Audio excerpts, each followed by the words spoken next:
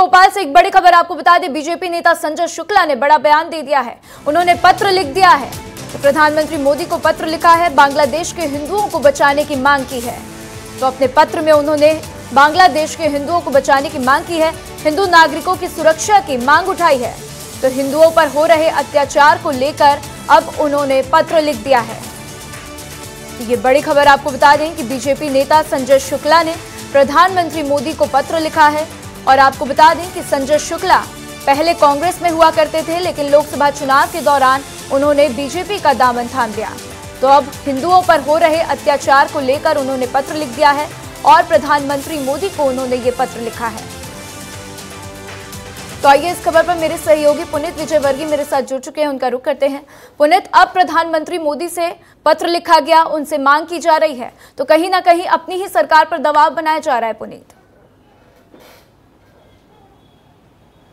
बिल्कुल देखिए, जिस तरह के हालात बांग्लादेश में बने हुए हैं, लगातार मांगे तो उठी रही है।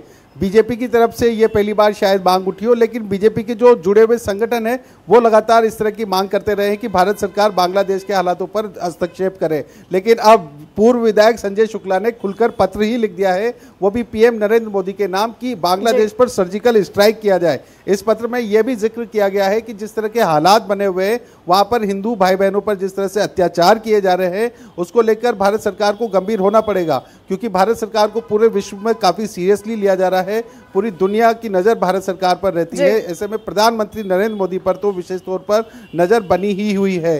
तो उन्हीं से यह उन्होंने निवेदन किया है। इसके अलावा इसमें इस बात का भी ज़िक्र किया है जो कि सबसे खास है कि पाकिस्तान पर सर्जिकल स्ट्राइक की गई थी उसके बाद से आतंकवाद में बड़ी कमी आई थी। देखिए उस समय जब कांग्रेस में थे तब तो ये सर्जिकल स्ट्राइक की बात को नहीं मान रहे थे।